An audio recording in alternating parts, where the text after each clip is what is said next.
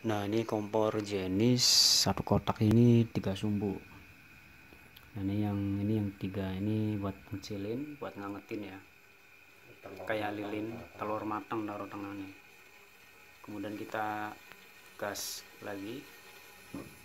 Nah itu yang di tengah 1 2 3 4 itu yang kedua ini ketiganya. Dan ini bisa digedein luar biasa. Yang utama udah mendidih kali ya?